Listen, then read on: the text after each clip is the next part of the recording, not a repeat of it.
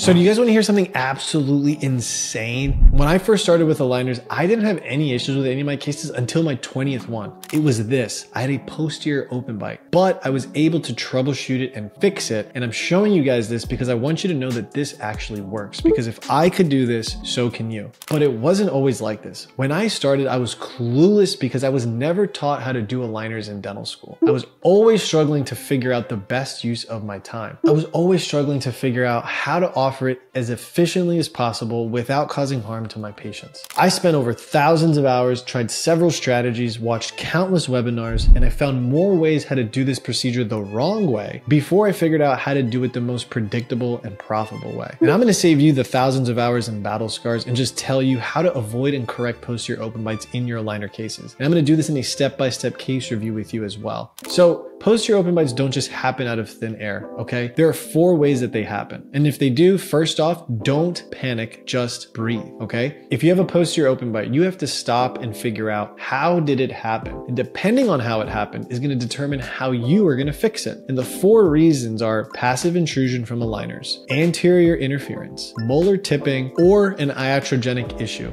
So before we move forward in the training, I just want you to know that this works for all brands. It is brand agnostic. So whether you're using Invisalign, SureSmile, ClearCorrect, Candid, OrthoFX, Spark, you can take this principles and apply it to all of the brands. So most docs when starting out don't have a protocol to follow, right? And when there's no protocol, that's when you leave the door open for random mistakes to happen that can really derail your cases. And one of those disasters can be the dreaded posterior open bite. And I fell prey to this. I got a posterior open bite on my 20th case. And I'm gonna share this with you. And then I'm gonna go over the four causes of posterior open bites, how to avoid them, and how to treat them. But before we dive into this case, why are posterior open bites bad? Well, for one, they cause a problem with your patient's occlusion because their back teeth don't come together anymore. But also because this ends up taking even more trays and chair time to correct which ultimately leads to this case being unprofitable. So here is my big screw up, the posterior open bite case. Now, this patient wanted to improve their crowding so that they could floss better. And I didn't listen to my mentor at the time because they told me not to move molars and for whatever reason, I thought that I could move the molars. I listened to one of the supporting orthodontists with Invisalign who was helping me out on this case and I followed their protocols. And so we resolved the crowding as you can see at the top, but we got a posterior open bite. So what did I do?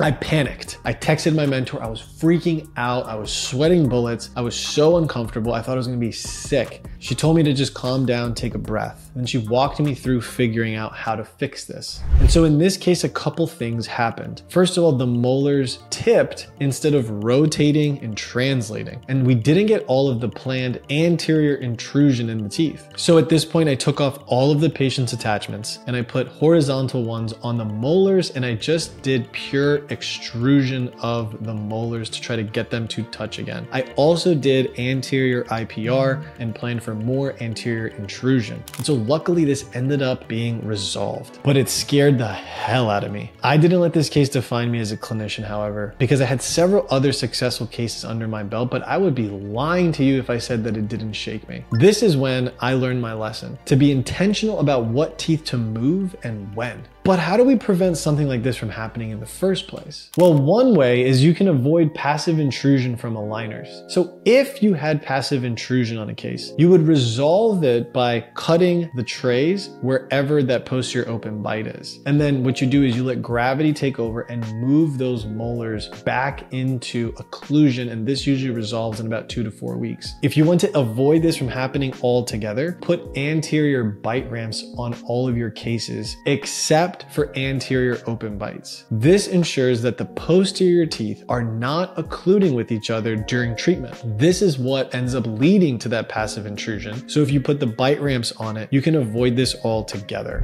The second reason for a posterior open bite is anterior interference. And this is common in deep bite cases because what happens is, is the program is planning for a certain amount of anterior intrusion, which is when the teeth are supposed to move back down into the bone. But in in reality, that movement is very difficult and doesn't always happen to the extent at which it was planned. So then what happens? You see the red areas there in the anterior? That's showing us that the tooth has a heavy contact and it's hitting before the posterior teeth do. And so how do you fix this? Well, you would remove that interference with your diamond football burr to help equilibrate the bite and free up that space so that way the back teeth can actually come together. Now, if that interference is significant in the front, then you have to do IPR between the teeth in the front to create a little bit of space. And then you're able to then retract and intrude those anterior teeth, which then allows for all the teeth to come together again, which would eliminate that posterior open bite. And now if it's super extreme and you can't fix any of that, then this is a situation where you would use elastics. However, elastics in adults can be very difficult and not that predictable to do. And so my recommendation to ensure that you don't have to go through this is to make sure that you are getting that planned anterior intrusion by not taking on cases like severe deep bites with greater than four millimeters of that anterior deep bite.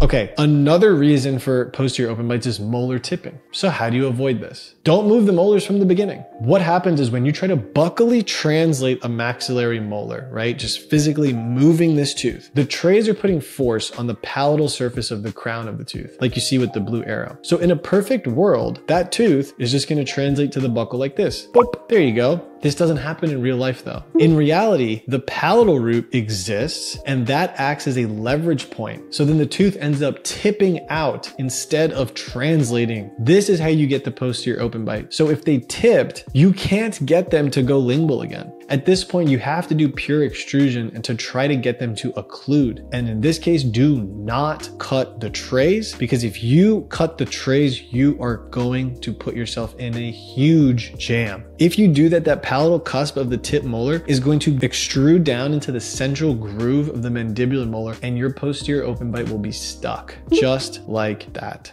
The fourth cause of posterior open bite is an iatrogenic posterior open bite. And this happens when you try to constrict an arch by distalizing the canines. And to avoid this, you need to place G6 attachments on premolars and molars when you're constricting that arch or trying to distalize those canines. And this ensures that the posterior teeth don't try to tip and move forward while you're trying to bring the front teeth backwards. Hope that makes sense for you. So I hope you found this video valuable and I wanted to let you know that I'm the founder of Clear Aligner Advisor, which is an online Clear Aligner education platform that has successfully helped over 150 dentists integrate aligners into their practice. And they have gone on to generate over $9 million in revenue from aligners alone. We help these docs through one of our two paid training programs, Aligner Blueprint, which is our core curriculum online program, and Aligner Launchpad, which is our comprehensive program with unparalleled levels of support while starting and growing practices for dentists. All of the course details and information are at this website, clearaligneradvisor.co. We also have a couple free training programs that you can dive into that are on the website if you're not ready to invest in education yet. I hope you got a couple pearls out of here. And if you're not following me already, go over to Instagram and follow me. I post almost every single day and I'm sharing Clear Aligner content all the time. Also, subscribe to the channel because you know this video was super valuable. And if you more, there's more where that came from. So go ahead and do that. Now, if you thought this was remotely helpful, I actually go way deeper on how to offer aligners in a profitable way. And you're really gonna like this video. So go check it out and I'll see you there.